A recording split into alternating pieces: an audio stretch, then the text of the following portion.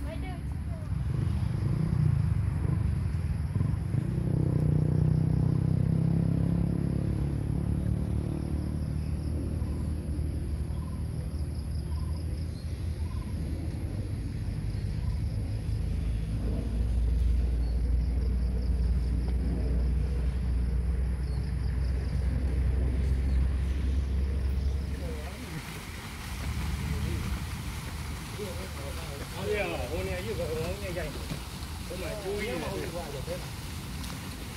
cô đây như này kinh là như vậy Hãy subscribe cho kênh Ghiền Mì Gõ Để không bỏ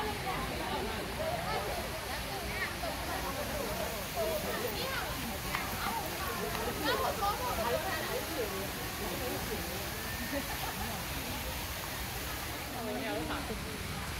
những video hấp dẫn Nóng lắm.